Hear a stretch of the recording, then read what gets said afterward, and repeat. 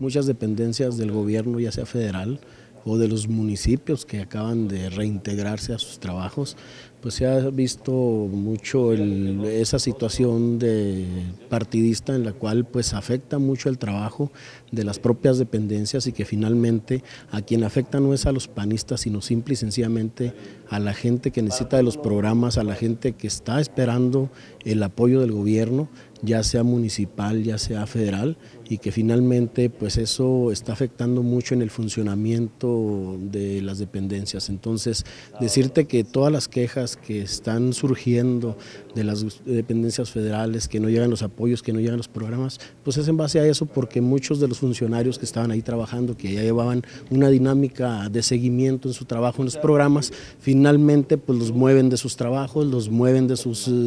este, actividades normales que estaban llevando y lógicamente que los programas se atrasan y finalmente pues eh, esperemos que no sea una cacería de brujas de, para ciertos partidos.